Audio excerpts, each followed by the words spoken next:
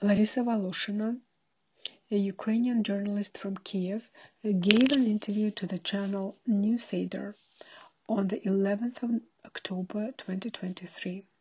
Alexander. Hello, Larissa. Larissa, hi, Sasha.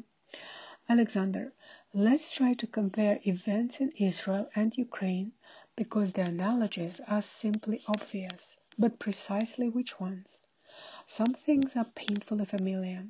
I'm asking this question because what Israel is grappling with in the last few days, Ukraine has been experiencing for the last 20 months. Larissa, I agree that there are many similarities.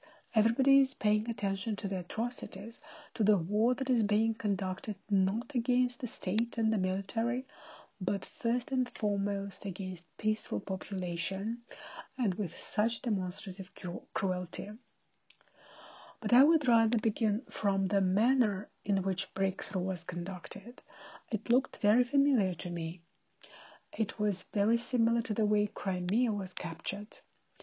And it's very reminiscent of the technology used in Tallinn, when the fighters, as we understood, the proxy fighters sent by Russia, staged unrest in Tallinn using the occasion of the transfer of a monument to the soldier.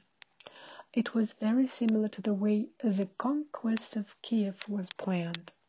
What I mean is the Russian Federation's invasion method is based on using the external aggression with the domestic factor.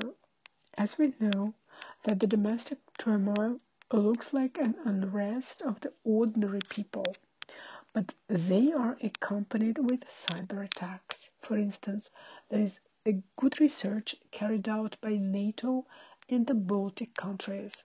In my understanding, that includes three countries. They investigate the behavior of Russia, and not only of Russia, as well as strategies, since quite a while ago. And in 2014-15, they issued a report which drew parallels between Tallinn, attacks of Russia on Tbilisi, Georgia, and the seizure of the Crimea. According to their data, the same technology was used.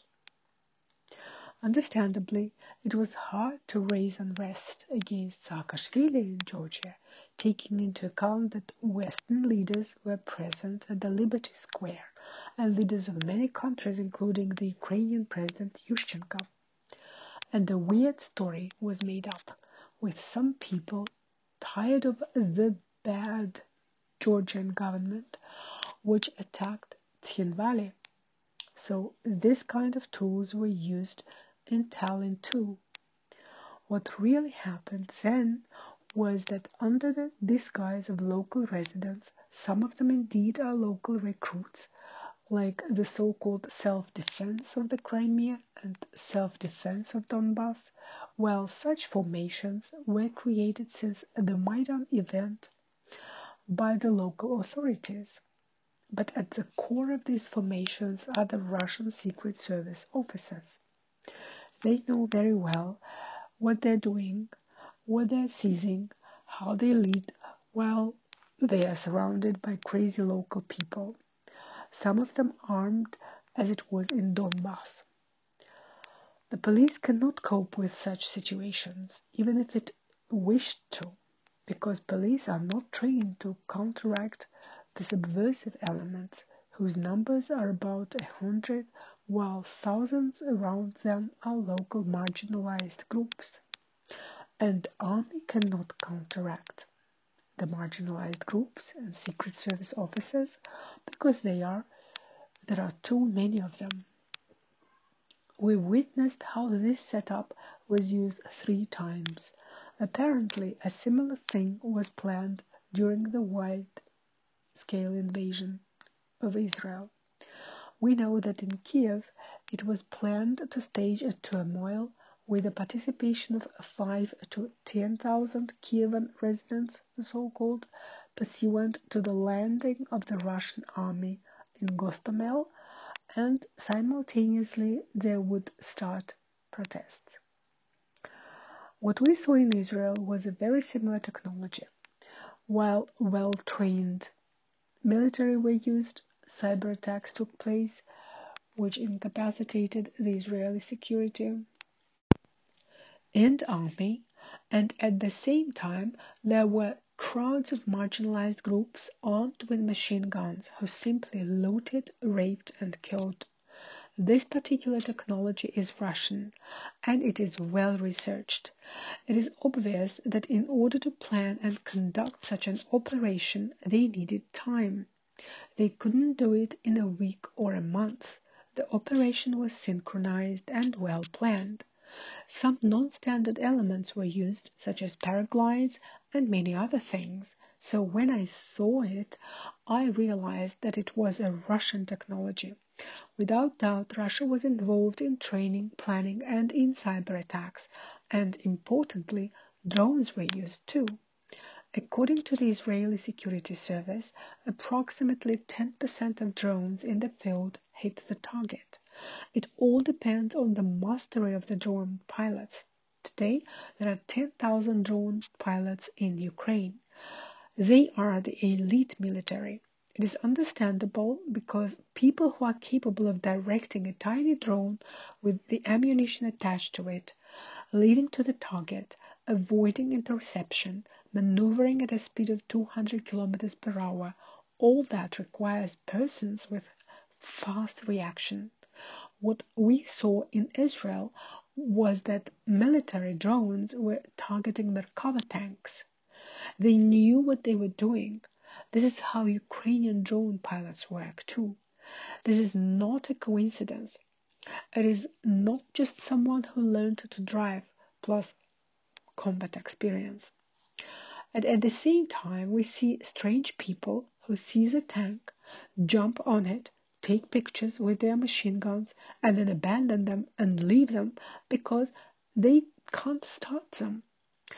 Thus, we see that we are shown proxy people breaking through the holes, running around Israel and robbing, killing, raping.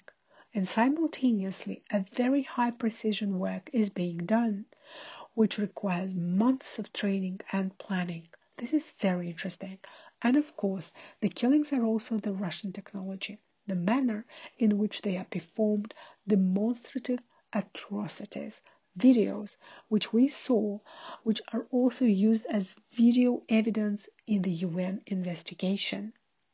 Recently, UN Committee on Torture announced that they identified a photo a video, including the one featuring a killing of a Ukrainian military who said glory to Ukraine and beheading a prisoner of war, the authenticity of the videos was established, but those videos were disseminated by Russia. Let's reiterate. Russia started the war with the demonstration of its atrocities. Remember, this is Russian battleship. Surrender and the Ukrainian military's answer, the Russian battleship Go Fuck Yourself. And what was the Russian response to it? They leveled that little snake island and disseminated the video on the internet. They did not realize that when they disseminated the video of the communication between the Moscow warship commander and the Ukrainian border security, followed by a complete annihilation of the Snake Island, it would work against them, against Russia. Russian warship with three dots phrase became a worldwide meme. We even saw Steven Spielberg, I believe other celebrities, Pink Floyd wearing t-shirts with the same phrase. Russians didn't know about the consequences. The purpose of the dissemination of that video was to show the deliberate, demonstrative cruelty. And it is apparent that when the videos and photos of shootings in Israel by the militants appeared, I wouldn't call them militants, by the way. I believe they are the army, similar to the Russian one. This is an army of dictatorial regimes. Without doubt, the Chinese army will act in the same way. Any army of a dictatorial and authoritarian regimes will act like this. Say, army of North Korea breaking through to South Korea will act in the same way, no doubt. And when Russians got away with Bucha, as they believe, because the punishment is slow, although we see the criminal cases, the identified names. But, excuse me, in a country like that, Führer takes responsibility for all decisions, and Putin feels unpunishable. They still shake hands with him from time to time. They get brilliant ideas about making agreements with him. This all brought to the idea that such an ostensible cruelty communicated to the outer world is meant to raise the spirit of their thugs in order to show them that there is nothing to fear and that they are unpunishable. These three factors, impudence, impunity, and readiness to destroy for the sake of destruction, these key features of the Russian army are easily seen in the actions of Hamas. Alexander. So, do we see the realization of Russia's plans in this form or another? And in any case, Russian special services worked there. Larissa, I'm saying that what we see is the technology tested in many countries in several conflicts in various forms, and these technologies are clearly used in attacks against Israel. And where there is technology, there must be instructors to teach them. Alexander, what I understood from your words, we can't call the militants on mopeds. They should be regarded as well trained fighters and they are not homogeneous. There are specialists and there are marginalized subjects, and each of them plays their own part in this bloody theater.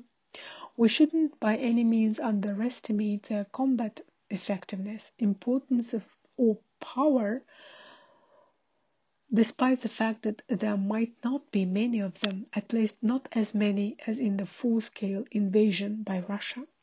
Larissa, Actually, the number of Hamas, as reported by the Israeli security services, is 40 to 50,000 in Gaza Strip. This is actually a lot for such a small territory. 40 to 50,000 trained military personnel is a lot.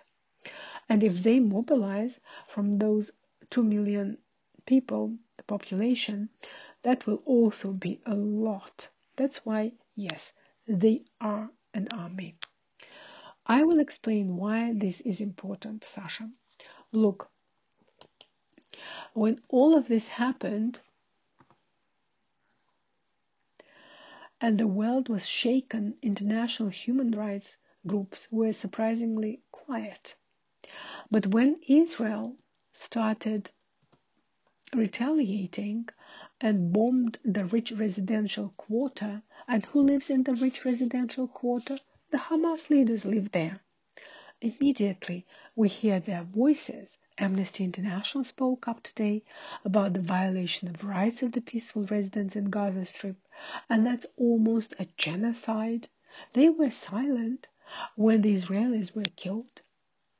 Some say that's because they are leftist they will support the Palestinians. It's not because of that. The point is that a democratic country abides with the requirements of the international law. It abides with the moral principles. Therefore, it is compelled to act within the established international norms. But such regimes as Putin's, they don't have to. Hamas don't have to.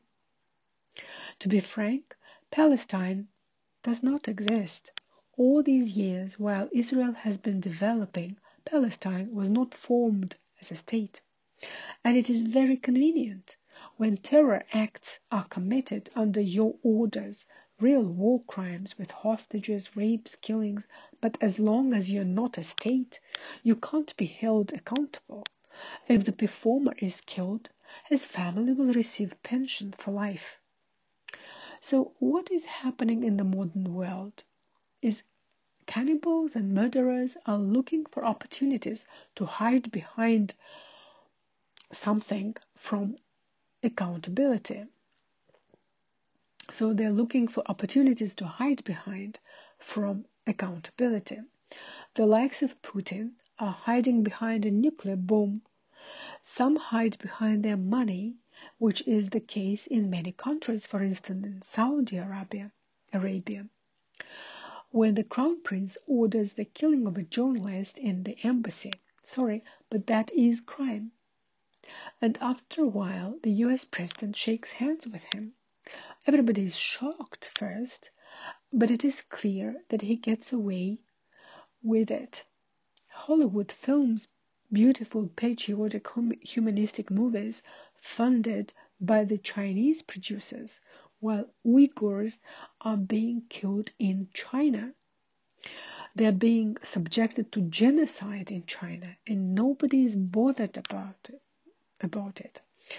And talking about China is bad manners in Hollywood.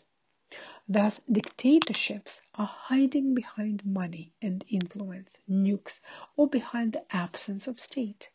By the way, Lebanon uses the same excuse of no statehood as well as Iran. Hezbollah is the army of Iran, which is clear. It's like Wagner, but much bigger with airplanes and tanks and everything they need and they pretend that they are not Iran, although they are funded by Iran. But no, they are not Iran's. They are on the territory of Lebanon. But no, they are not Lebanese. So interesting. When they commit atrocities, the states which benefit from it can pretend that they have nothing to do with them. We are not there. It's the same technology.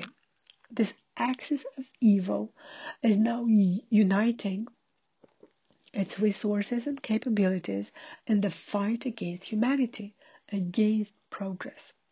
Alexander, I'd like to talk about the axis of evil. Today, South Korea expressed concern that North Korea can also break through the border and seize part of the territory and take hostages. The world is started to suspect that these are not separate episodes of invasions and aggressions such as against Ukraine or Israel, but these are the tentacles of one octopus.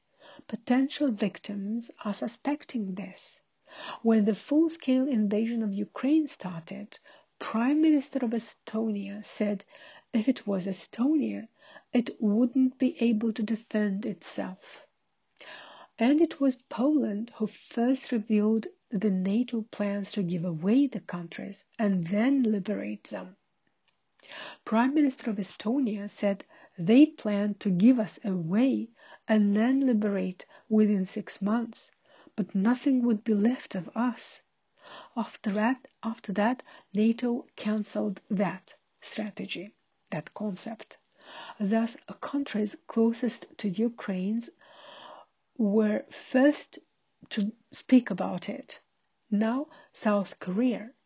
It's logical because the main point is that these are potential victims and they were the first to suspect it. They realized they were the next, that the impossible is possible. And the axis of evil almost knows it for sure that the world is ultimately defenseless they obviously understand that whatever their proxies are doing, by the way, Putin is rearing Lukashenko for something. The question is why? He's painting him to look like Kim Jong un. There is a purpose behind it. So everybody understands that the reaction of the world, the reaction of the United States will be weak and delayed. The actions will be reactive rather than proactive. They know that the world is not ready to fight against them. They are openly conducting a well coordinated hybrid third, third World War, and the world is not ready to stand up to them in a consolidated way. Even the situation with Israel, what we observe is the interesting thing these days, when the whole world is talking about atrocities, the Israeli journalists unanimously say that they saw the same in Bucha. There are a lot of Israeli journalists who say, We went to Kherson. We saw what was taking place there.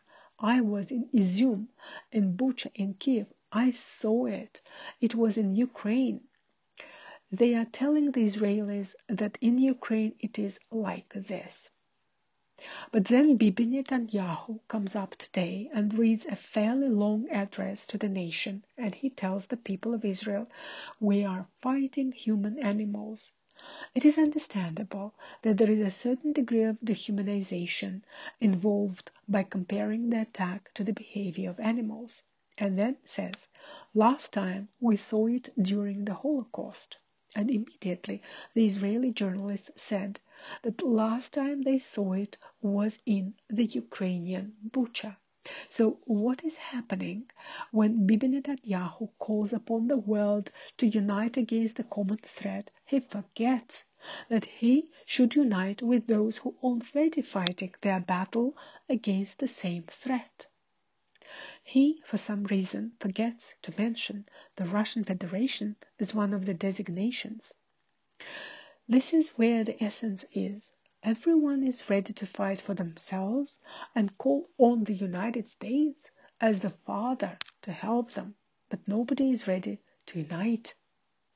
In the meantime, South Korea, for example, understands the threat and it has the largest arsenals and it was asked by the United States to help, but it referred to its legislation and said that it cannot help. I'd like to know if the United States was drawn into war with North Korea to help South Korea, would South Korea's legislation prevent it from helping the United States? I don't think so. Everything would be fine then. So these potential victims understand that they are terrified, but just turn to the United States. But the United States cannot cover for everybody. And it's a classical Chinese tactic of a thousand cuts. It is obviously a war against the United States. The axis of evil decided to defeat them as the guarantor of prosperity of the collective West, including Europe. If the United States fall, Europe's prosperity will fall too. This is obvious because nobody can protect them. This is 1000 cuts against the United States. Alexander, you touched upon the theme of which force is opposing Israel. Let's talk about that force which is opposing Ukraine. The public in Ukraine is saying that what Israel was experiencing within a few days, both by scale and by the intensity, is not even comparable to what Ukrainians have been experiencing and are experiencing in the last 600 days or so. What do you think? Is it right to compare such things? Israel is confronting a much weaker enemy. And although it's a separate question, but let's compare the combat prowess of Ukraine, which is defending itself against the Russian terrorists, and Israeli military personnel defending their country, the Hamas, against the Hamas terrorists, who are essentially the Iranian proxies. Larissa, we don't see Israel's field operations yet. And I don't think it is right to compare the extent of grief. It is wrong to say we suffer more than anyone else. It would certainly be better if we were hurt less. This is some kind of unhealthy narcissism to assert oneself at the expense of pain and wounds.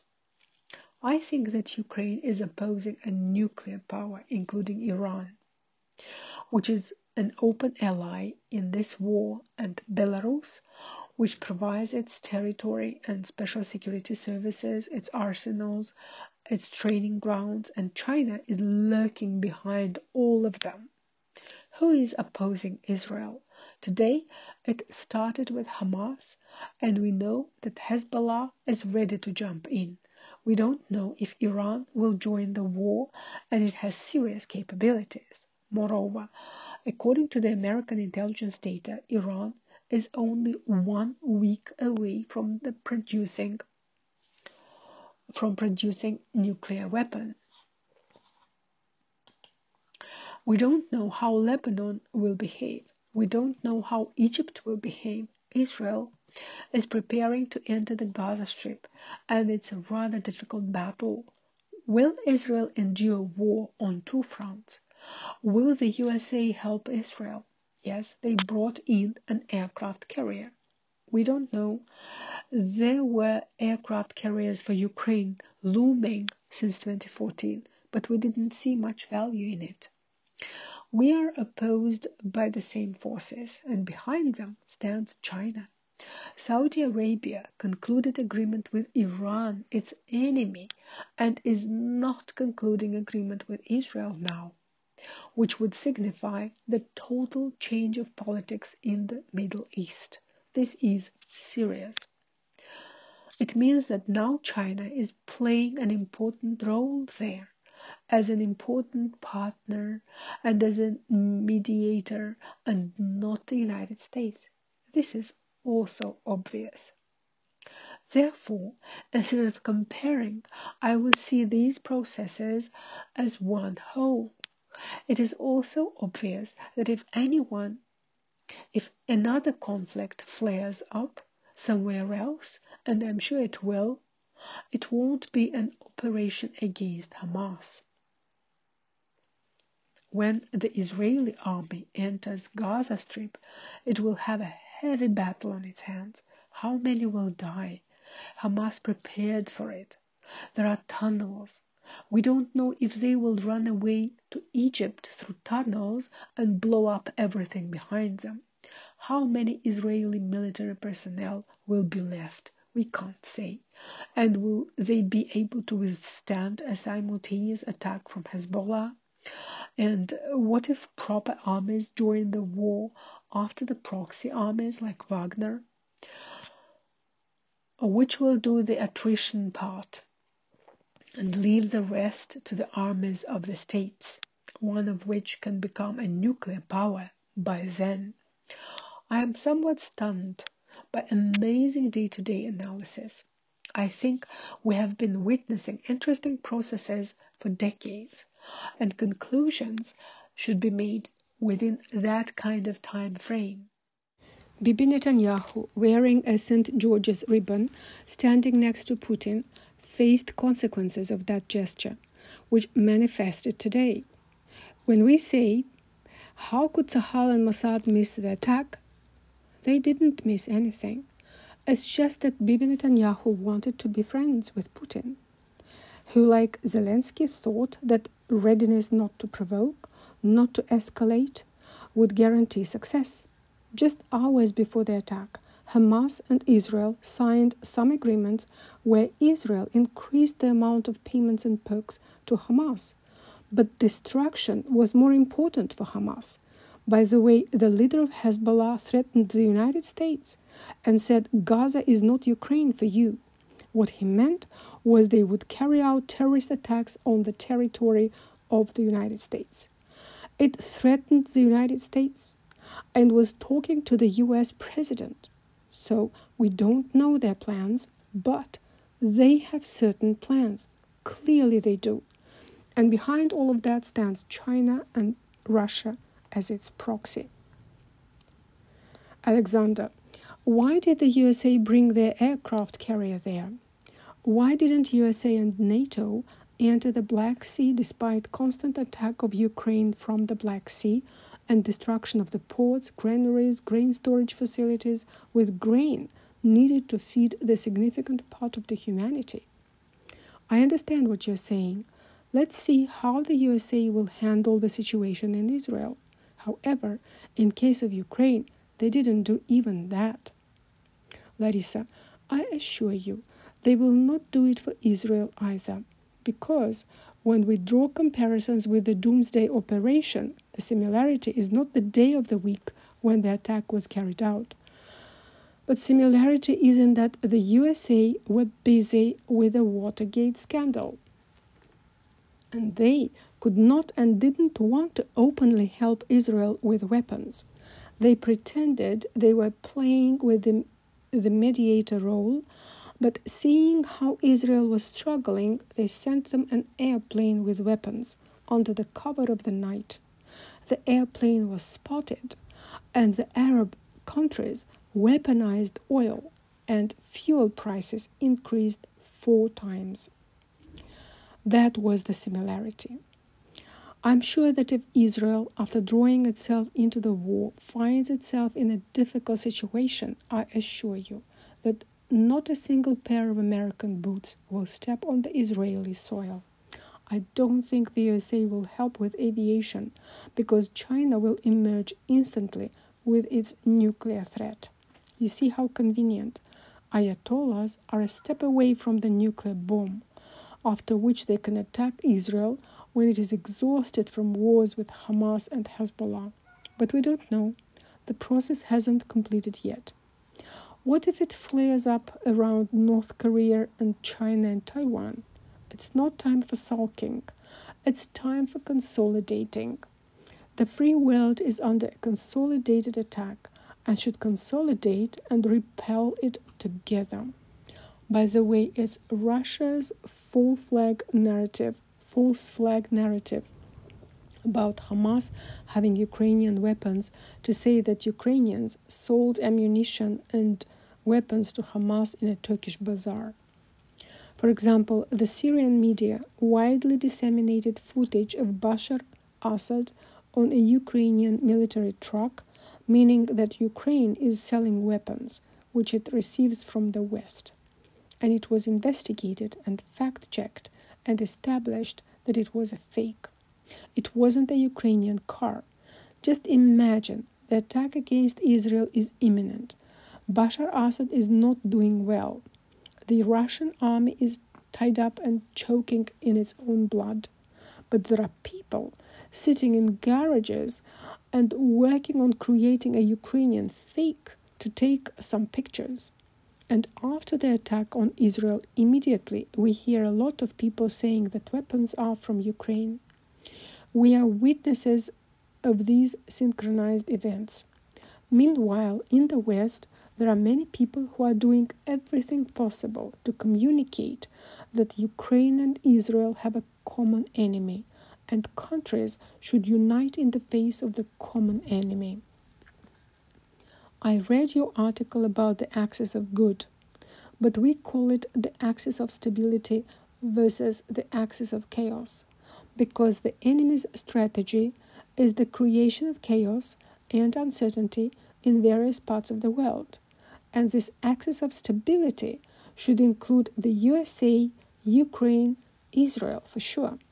Axis of stability and certainty does not mean that we have differences with the axis of uncertainty. No. It means that we know who we are, what we do, and what our goals are, and we will achieve them. Currently, we have chaos and uncertainty. The USA can't figure out the aims of the war Bibi can't figure out the place of Putin in the cosmos, etc. Total uncertainty. Thus, when we determine our goals, then the axis of axis of evil will not have a chance. However, it looks like we can hardly determine all about us in the situation in view of the number of actors and interested parties. Alexander. So you don't believe that the USA will define their goals in the short run, as well as Europe, Japan, all enlightened forces of the world must define their common goals. Your forecast is not optimistic. Larissa, no, I don't believe it is possible. Within the democratic states, and Putin knows it and takes advantage of it, for the hybrid wars, whereby democracy is used against itself, different in influence groups, different points create imbalance. The propaganda in the West is based on freedom of speech and on the diversity of opinions, and Kremlin uses it to create a chaos. For instance, Israel unites to fight. All talks and quarrels are put aside. Religious and secular groups, right and left, everybody is united in war. In Ukraine, we had some something similar. How can a free speech America unite and say Trump is destroying our country? That shutdown was an attempt to fell America. The photo of Elon Musk with a machine gun, a person who knows nothing about weapons, narratives about standing up for their choice. What are these narratives about? Are they about an armed unrest against the backdrop of elections? In order to stop all of that chaos in the society ruffled up by subversive agents of influence and local useful idiots, just to announce that the country is at war, but people will be surprised.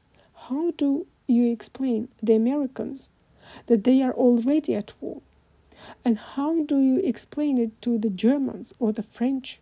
Europe was shocked to see pro Palestinian protests, and they don't understand that maybe they missed something.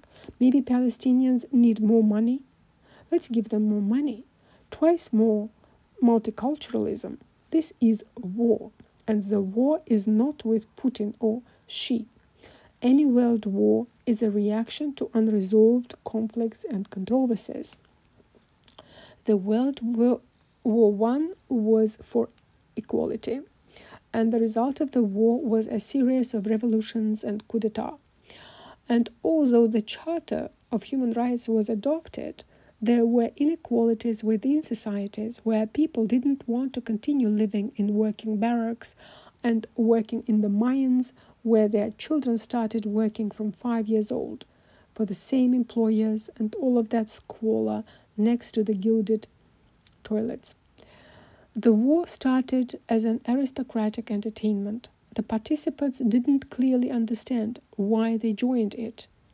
Why did all those kings and dukes start it? But when masses joined it, it brought to the battle for equality, to the series of coup d'etat, very bloody. But it started with jolly moods of the kings and dukes announcing wars and their dames adoring them, followed by four years of blood and death in the trenches and questions. What did the soldiers die for? World War II was a response to the World War I, an attempt of revenge that all people were equal, but the Germans were more equal than others, and Jews, Roma, and others were unnecessary.